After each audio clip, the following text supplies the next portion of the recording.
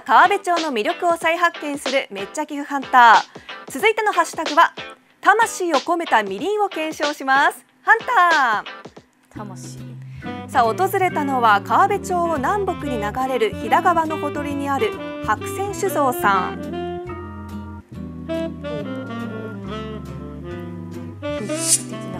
江戸時代後期にみりん屋として創業した白泉酒造さ、ん、伝統製法で作るみりんのほか黒松白泉をはじめとする日本酒も多くの人から愛されている老舗の酒蔵で今は5代目の加藤祐樹さんが切り盛りしています。私、はい、みりんど素人なんですけれども、はい。みりんってそもそもどうやって作られているのかっていうのを教えていただいてもいいですか、はい、みりんはですね、はい、もち米と米麹と米焼酎を混ぜ合わせて、うん、長い熟成期間を経てそれを絞ってみりんが完成します。あ三つのものを、はい、凝縮させて絞って出来上がるんですね。はい。そのみりんの工程で何か私でも挑戦できることってありますか、はい、今あのちょうど仕込んでるものがあるのでじゃあそちらせっかくですので行きましょうか。お願いします。はい。行きましょう。はい。せーの。ワープした。しょ来ましたね。着きましたね。酒蔵の中です。あ、ここが酒蔵ですか。はい、加藤さんノリが良すぎて、はい、演出を加藤さんが考えてくれたんですよ。おお、プロデューサー。演出総合演出総合演出 してくれました。わあ、すごい。仕込んでから三週間ぐらいしか経ってないので、まだこれからじわーっと溶けていくところです。あ、すっごい重たい。もっと力入れたい。これ下までいっちゃっていいんですか？もっと入らない。もっともっと。こ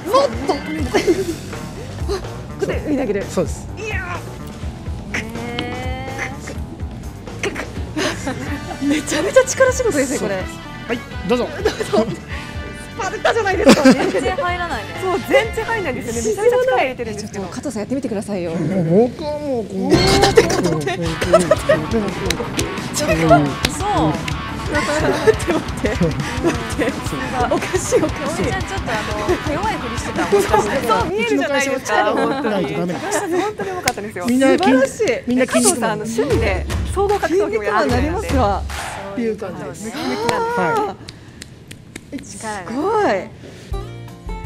さあ蔵元見学会も定期的に開催してい。るようですので皆さんも加藤さんのスパルタ教育受けてみてはい。かがでしょうかここはあのみりんだとかお酒の貯蔵するタンクになってます。はい、先ほど混ぜていただいて、はい、絞って、はい、で3年寝かせたものがこの中に入ってる。熟成。あ、わいいな絞りたて。あすごいなんか綺麗な黄金色というか。めっちゃ綺麗。わあちょっと透き通ってる。これはあの3年経ったみりんなんですけども、はい、あの絞りたてのみりん、はい、とあと10年のみりんが用意してあるので、ぜひ試飲しに行きますか。ぜひ、はい、試飲したいです。はい、ぜひぜひ行きましょう。行きましょう。お願いします。せーの。よいしょまたワープした。あれ？加藤さん？加藤さん？え、これどこ？ここ？あれ？みりんを絞る。田村さんこっちですよ。あ、わかりました。行きます。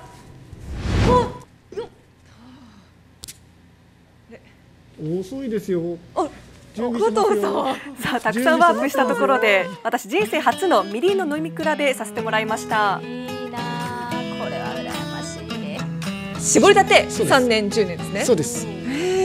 これ色がほんまに違うんですよね。色全然違いますね。見てくださいこれ。絞りたて。結構本当に薄黄色みたいなあなんかちょっと甘さもありつつすっきりした感じがする。期間限定なんだ。これが3年の。またこれはちょっと茶色な感じしますけど。これこれ全然違う。そうなんですあなんだろう。色が違うもんね、よりまろやかでちょっと甘さが増した感じがしますけど、であの焼酎とかも寝かしたりするじゃないですか、はい、それと一緒であのみりんは原料に焼酎使ってるので、あの3年寝かしている間にあの角が取れてくるんですね。焼酎の。へえだからよりまろやかになるんですね、はい、甘みの種類も増えていくイメージです、うん、そしてこちらが10年ですね。うわ10年。これ高級だね。あれ？うん。なんだろう。あれですよね。うん、あれ、うん、あれです、あれです、あれなんですよ。お客様に、あの例えられる飲み物は紹興酒です。紹興酒にも砂糖を入れたもの。分かってもらえます？わかります、わかります。それそれそれそれ。言われてみればっていう。それそれ。さあ砂糖を一切使っていないのに熟成するにつれて甘みがどんどん深まっていくみりんの魅力を私ね体験できましていやこれは贅沢な体験ですよ、貴重な体験でしたわこれもう飲み尽くしたいそして白泉酒造さんがスタンダードで販売している3年熟成の本みりんは特に人気でインスタにもたくさんの投稿が上がっていました。最後に加藤さんにみりん作りに対する思いを伺いました。まああの日本の食を変えたいとかっていうとちょっと話が大きすぎるんですけど、うん、調味料みりんにも興味を持っていただいたりしてあまたみりんもこんなのがあるんだって知っていただいてどんどんこれがまた昔の日本の文化みたいに広がっていけばいいなっていう思いで作ってます。ではルミさん白泉酒造さんにめっちゃわかるハッシュタグお願いします。はいハッシュタグまたみりんに恋してるです。なんか聞いたことあるぞ。いやもう私このみりん何本消費してるかわからないぐらいお気に入りなんですよ